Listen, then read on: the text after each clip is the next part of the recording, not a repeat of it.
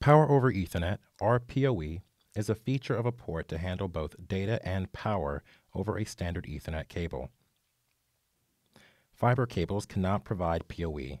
Only Cat5 and Cat6 cables can provide power. To examine port power, navigate to Switch, Switches,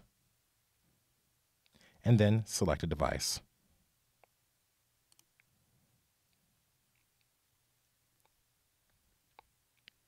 The lightning bolt indicates that the line is drawing power from a device.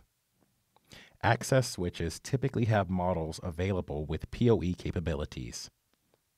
Aggregation switches typically do not have PoE capabilities. Select Power,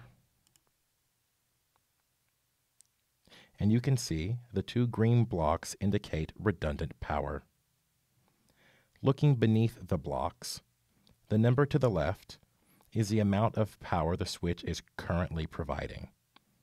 The number to the right is the maximum amount of power allotted.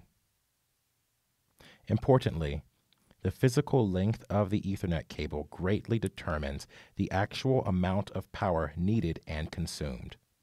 So, the power consumed number will typically be much less than the power budgeted.